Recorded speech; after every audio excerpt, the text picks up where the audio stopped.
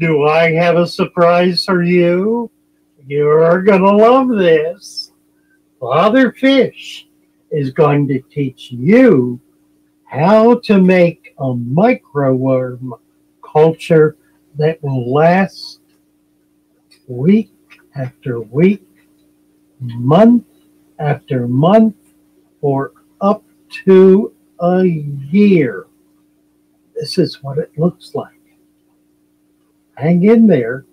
Be sure to press the like button down below. Subscribe if you have not already. If you have, make sure you click on the bell and the all so that you get all of our wonderful, amazing Father Fish videos each time we put one on YouTube. So come along. I'm going to show you how to do this. And here we are with a microworm culture. This was set up six weeks ago. Six weeks ago, that's right. And I'm here to tell you it smells like fresh bread. no odor at all. Look at this.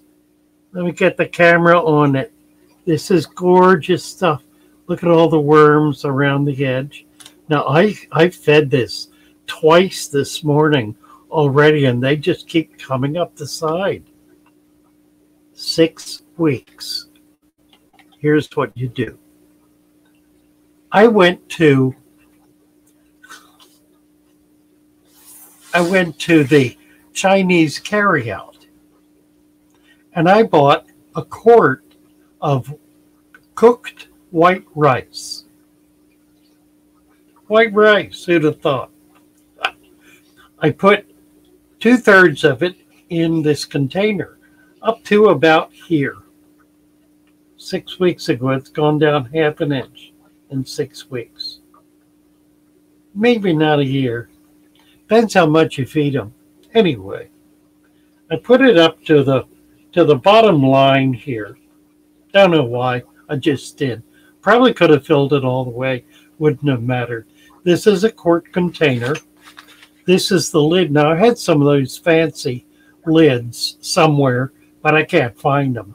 You know, the ones they make for fly culture that are perforated with screen. Don't know where they are. In storage, maybe, or gone. Anyway, I poke a hole in it, put a little piece of cotton in, and then stick a knife in to make a lot of little, a lot of little, uh, tiny, tiny holes. The critical thing is you don't want gnats getting into it, or you do, but they're going to make a a, a, a, uh, a worm culture, a maggot culture that's great for your bigger fish, but it'll kill the microworm culture. So you can do two of these, one for gnats, for the worm culture, the the uh, maggots, and the other for microworm. Okay, here's the deal. Fill it up to uh, as high as you can get it and still feel like it's reasonable. And then you're going to need to put a, a little bit of live culture on it. Now, here's a trick. I'm going to put this down. Here's a trick. If you do not have live culture and you can't get it, you can make it. That's right. Let me explain how to make it. This is wonderful. First of all, you need to understand that microworms are nematodes. Nematodes are a tiny little creature that lives, well, everywhere. They're everywhere. They're in the dirt in your backyard, and that's the key. Bake a potato. Scoop out the potato and bury the skin under about, oh, about two inches of soil, an inch to two inches. Just kind of cover it up. Put it in a soft garden area where the soil is kind of worked up and soft and leave it there for a week. Come back in a week and dig it up. Now, take a, take a little bit of that of that potato, scoop a little bit of it up, and put it right on top of your microworm culture, of your rice, or you can use potato Instant potato is good. Oatmeal is good. Almost any kind of cereal that's going to uh, be act as a starch. That's basically what you want. You can use bread for that matter. Doesn't really matter. Put that little bit of culture on top. Now, if you don't want to go through all that nonsense, I'll sell you some. Just contact me on uh, PayPal or GetGills. PayPal, fatherfish at fatherfish.net. I'll send you some. Put a little bit on top. You can put a whole lot on top, doesn't matter. Put a put a oh maybe a quarter of a teaspoonful on top, right on top of the uh, of the media, the rice or whatever it is you're using, and then secret ingredient, Fleischmann's active dry yeast. This is the magic. Take a little bit of this, and I'm going to do it for you because you need to do it regularly. I cover the bottom of the lid like so. And then I guess I need to put it down to open the lid again on this. Here we go. You do want to be careful not to drop this because it'll be hard to clean up. Horrid. Okay, here's the yeast. Sprinkle it on top. Cover the whole surface with a very thin layer of yeast. Okay, that's what the worms eat. They eat the yeast. The yeast works into the uh, uh, the the material. In this case, the rice. It percolates it. It creates a nutrition for the worms, and that's what they eat.